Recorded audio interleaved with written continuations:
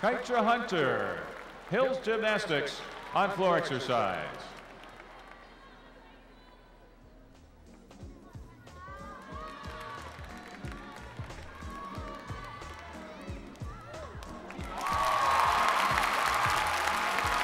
Shantessa Pama, Gym Max on uneven bars.